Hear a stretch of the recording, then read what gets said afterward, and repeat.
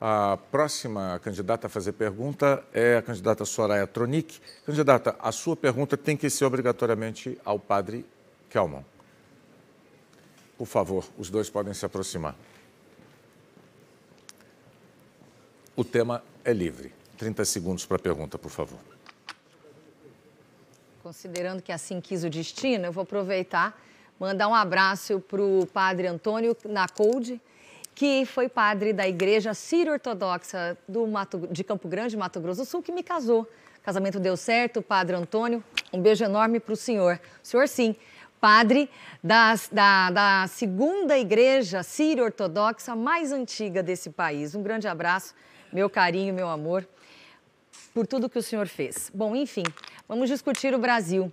E eu quero saber quais são as suas propostas para educação. Seu tempo acabou. Educação de base a educação de base é quando a gente aprende a cuidar das nossas crianças, fazendo com que as nossas crianças aprendam o que tem que se aprender numa escola.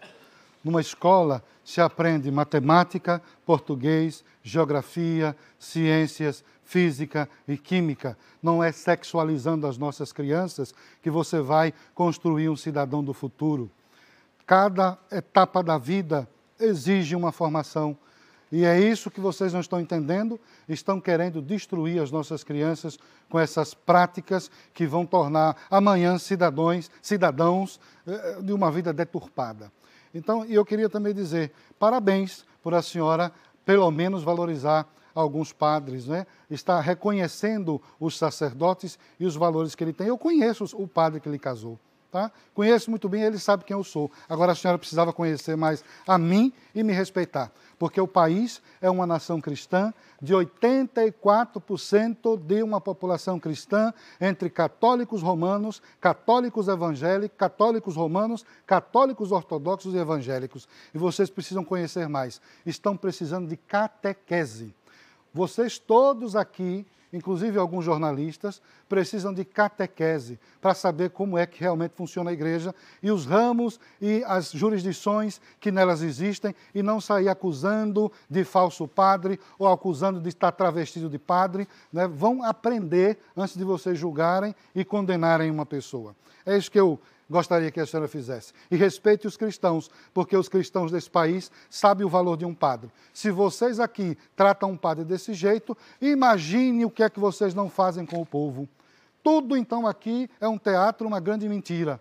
Porque se vocês são capazes de fazer isso com um sacerdote, o que é que vocês não vão fazer com Dona Maria, seu José, a senhora que está em casa? Eu, que estou a serviço da igreja, sou obrigado a ouvir isso aqui, essa falta de respeito? Quantos foram os sacerdotes que ergueram, que ajudaram a construir essa, eh, a história do Brasil? A senhora sabe que São Paulo foi erguida por Padre José de Anchieta? A senhora sabe que foi Padre José de Anchieta que deu a vida para ali no pátio do colégio fundar uma escolinha e catequizar os primeiros índios que depois fez surgir a grande cidade de São Paulo?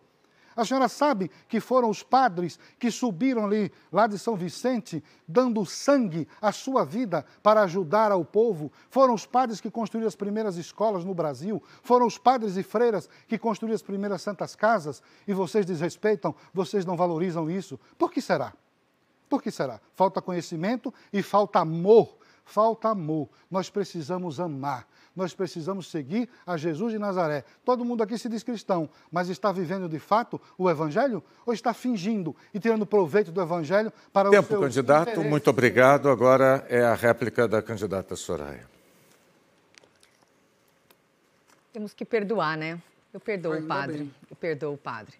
Bom, e, é, mas é imperdoável o que fazem com a educação no nosso país. E nós vamos começar a nossa grande reforma, a revolução na educação do nosso país, valorizando, honrando os professores. Vocês, professores de todo o Brasil, de norte a sul, de leste a oeste, poderão realmente é, ficar felizes, porque pela primeira vez serão valorizados, porque antes de 64 vocês eram isentos de imposto de renda. Voltarão a ser isentos de imposto de renda no nosso governo. E é por aí que a gente começa a nossa educação.